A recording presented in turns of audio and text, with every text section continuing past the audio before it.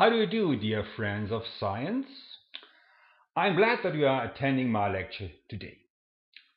Today I would like to talk about a subject that you all know, a candle, especially a candle flame. Candles have been used for many hundreds of years to enlighten rooms.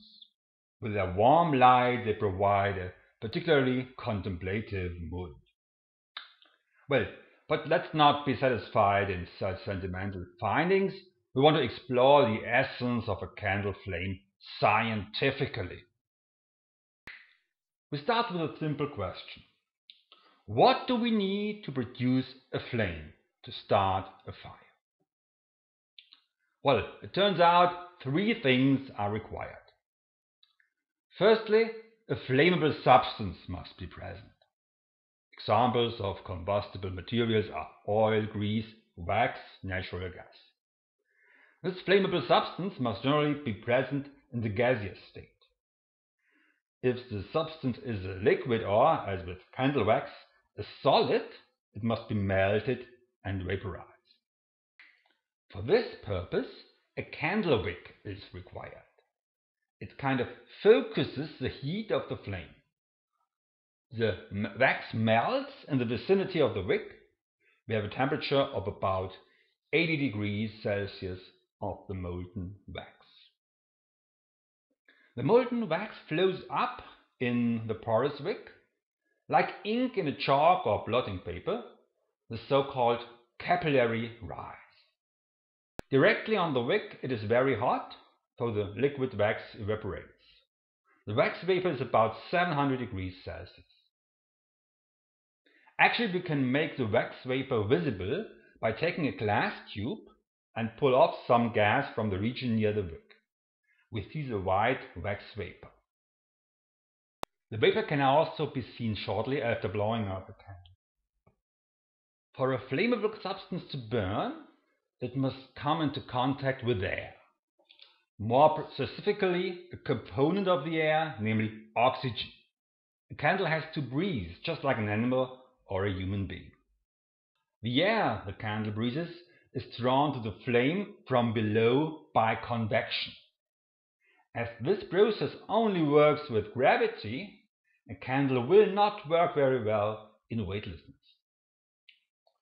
The sucked air cools the sides of the candle so that the liquid wax is usually in a sort of shell which is made up of solid wax and is not running down. Close to the wick, the wax vapor mixes with the air to produce a combustible mixture.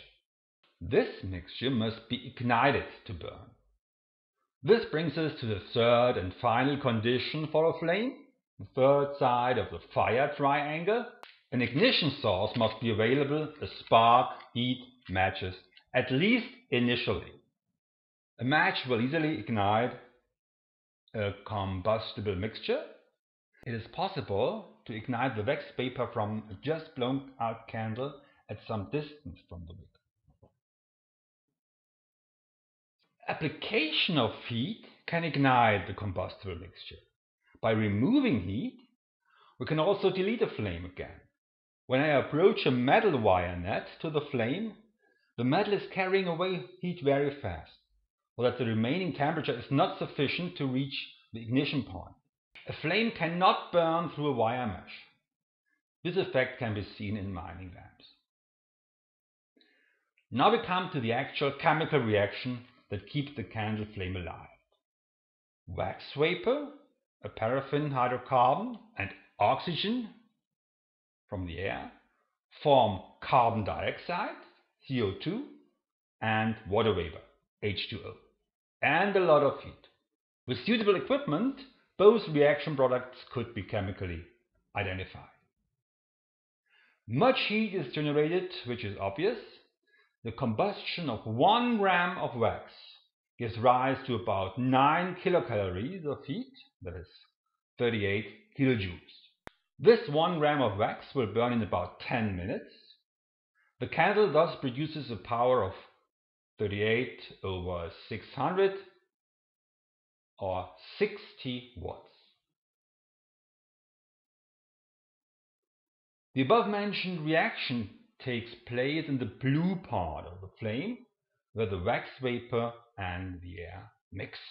The blue glow comes from the fact that some reactants will be energetically excited and emit light. The heat generated in the reaction has several consequences. First, it assures that more wax melts and evaporates at the wick. Then there is another important effect.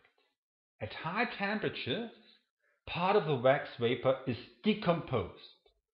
Similarly to how a cake turns black in the oven at too high a temperature, paraffin wax will decompose to carbon soot. This soot can be found in the yellow part of the flame. Carbon soot is usually deep black. It is nothing more than graphite, you know, from the pencil. However, this carbon soot in the candle flame has a temperature of about 800 degrees Celsius, and as any body having this temperature, the soot will emit visible light, it will glow. The yellow color of the flame is just glowing soot. You can show the presence of soot, for example, by holding a china plate in the yellow zone of the flame. See?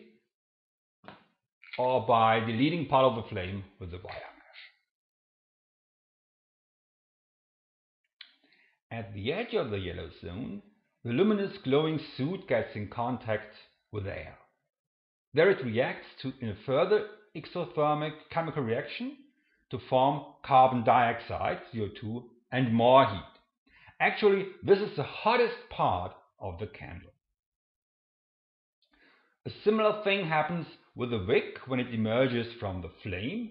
The burning wick is composed essentially of graphite, which burns at the flame border also with a typical yellow temperature radiation.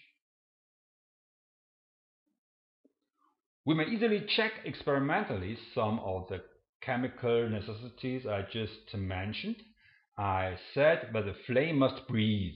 If we don't allow it to breathe, it will go out. The flame breathes air from below. If I put a glass tube on the flame, then air is sucked in from below. If I interrupt the intake stream, the candle will go out. In principle, any fuel which can be brought into the gaseous state is good as a candle material. So it's not difficult to make a candle from butter or from oil. If I burn one teaspoon of butter in a candle flame, 100 kilocalories of heat will be produced. A butter candle flame does not burn as uniformly as a wax candle. This is due to butter not exclusively being made up of fat, but also some non-combustible constituents, for example, water. The wick of a candle must not be made necessarily of cotton yarn.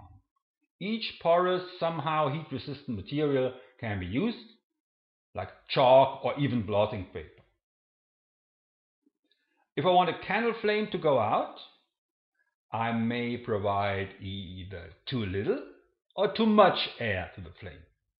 We have discussed the effect of too little air. Too much air simply means to blow out the candle. This blowing out can be accomplished with a drum. A drum beat creates a blast of air, a vortex of air more specifically, which may move from the drum to the candle. If I'm shooting well, I can blow it out. Well, try this at home and see if you're doing better than me. Thank you for your attention.